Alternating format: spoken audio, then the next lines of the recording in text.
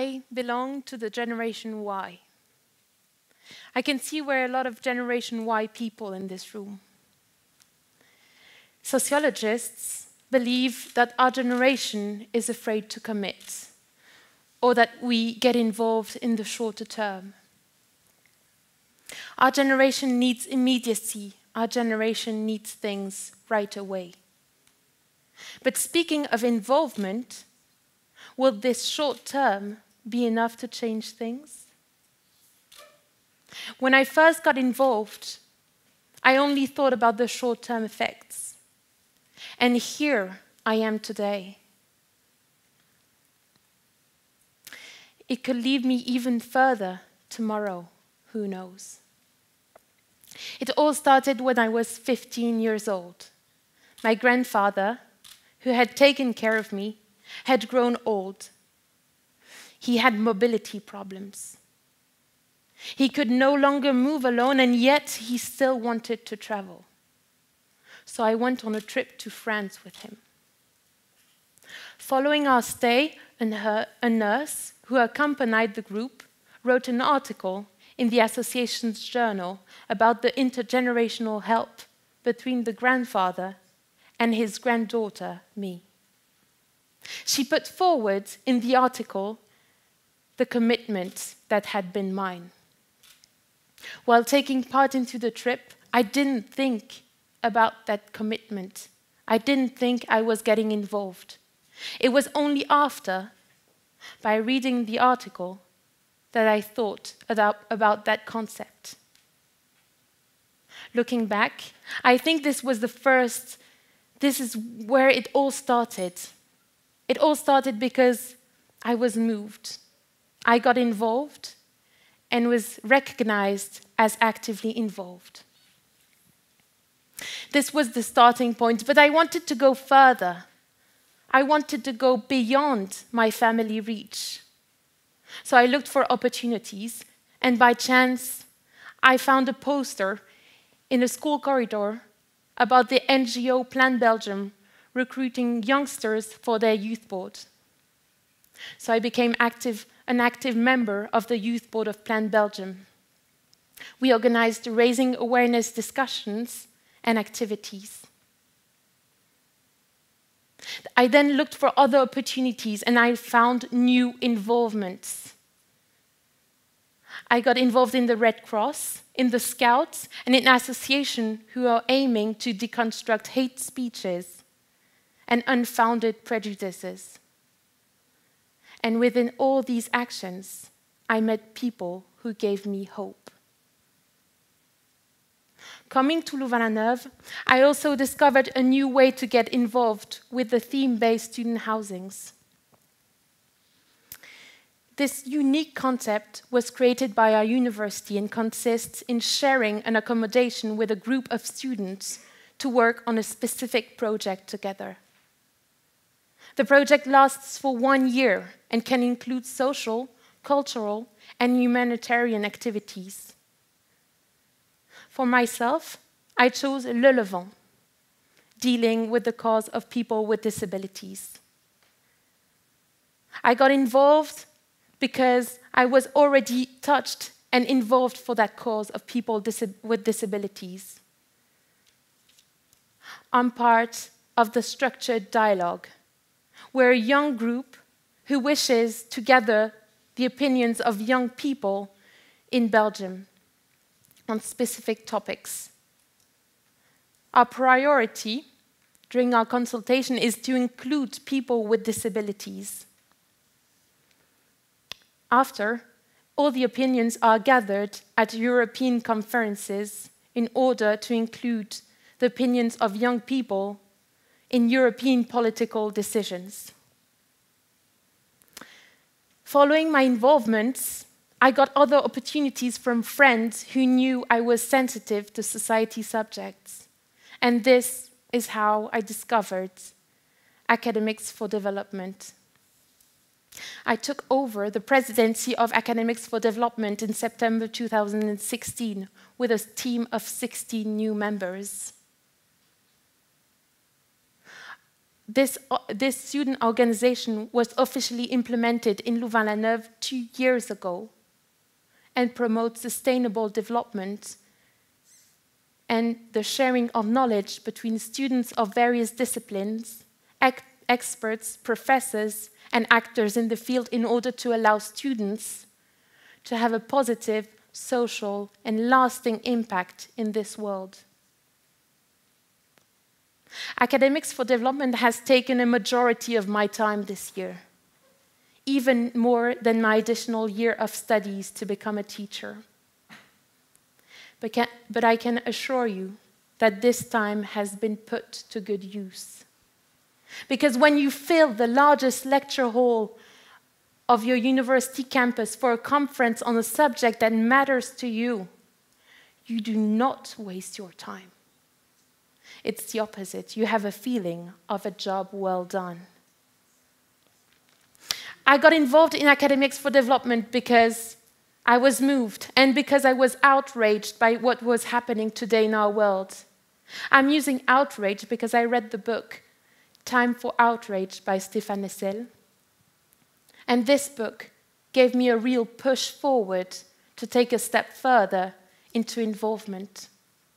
I could also say that I believe. I believe in the change that my commitments can make thanks to my previous involvement, and I believe that in the change the time I spent can make thanks to the inspiring people I met. An experiment was done at the University of Cambridge where participants were exposed to a short video. Either they viewed a documentary on nature, a comedy, or the biography of Mother Teresa. After, the participants were asked for help. Well, well, the research shows that the participants who viewed the biography of Mother Teresa spent twice as much time helping. So, hearing or witnessing pro social acts activates the desire to become better or even to carry out pro social acts ourselves. Today, I would like to be the pers person that encourages you to take that further step after being outraged and after believing. Like the people I met gave me the motivation I needed at that time. Today, in our society, we're constantly waiting for someone to bring change without ever thinking of changing the world ourselves. Who gives blood here? Well, it shows that seven out of ten people need a blood transfusion throughout their life, while only one out of ten gives blood. So I know it seems like a small gesture, but it's already a first step towards getting involved. 93% of our young generation in Belgium believes that there are injustices in our country. And unfortunately, we're not 93% of the young people to get involved. Our history will tell it to us. But we often forget that it always has been a group of engaged citizens that brought all the positive changes that surround us. A very concrete example is happening near you.